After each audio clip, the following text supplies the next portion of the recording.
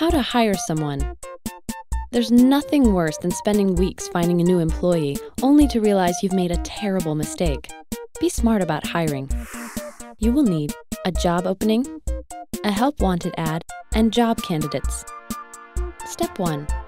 Make a list of the tasks you need done and the qualifications you desire in a candidate. Step 2. Compose an ad that includes the kind of experience you are looking for, but don't list a salary.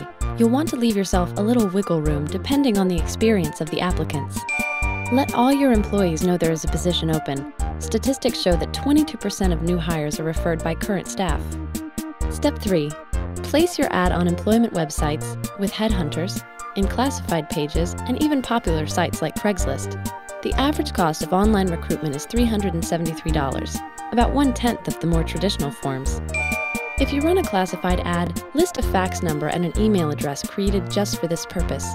No matter how emphatically your ad states, no phone inquiries, please, there are always those who believe rules do not apply to them. Step 4. Review the resumes. On the ones you like, jot down a brief note or circle the details that caught your eye.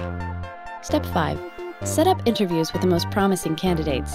Don't delay or you may lose your first choice. Be flexible. No candidate is going to match all of your requirements, so decide which are most crucial. Think best candidate instead of perfect candidate. Step 6. Arrange follow up interviews with the top candidates so they can be screened by their potential colleagues and supervisors. Step 7. Before making a job offer, check the candidate's references.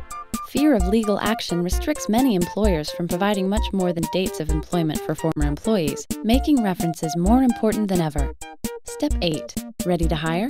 Send a written offer reiterating the terms of employment salary, start date, vacation and sick days, performance reviews, and so on, so there is no confusion later.